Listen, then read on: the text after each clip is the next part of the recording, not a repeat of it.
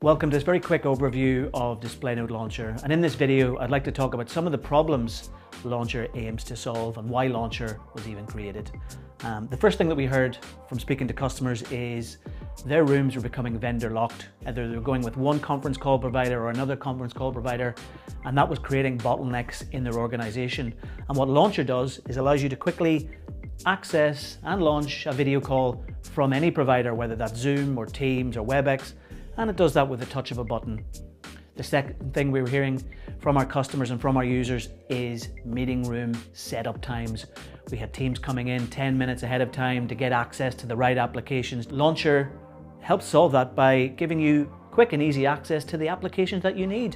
Whether that's your wireless casting technology, your browser, you will decide what's important for your organization. What we do is simply bring that into a shortcut, put it on the home screen, and allows you and your team to launch that with a click of a button. The third reason why we created a Launcher was to remove some of the security risks you were finding from hybrid meeting spaces. Um, one was accessing the Windows operating system.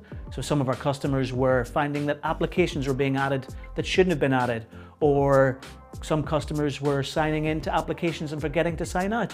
And Launcher removes that in two ways. The first way, uh, Launcher can be ran as a lockdown kiosk, which basically uh, removes any access to the Windows operating system, which means you can't add applications or sign in user profiles.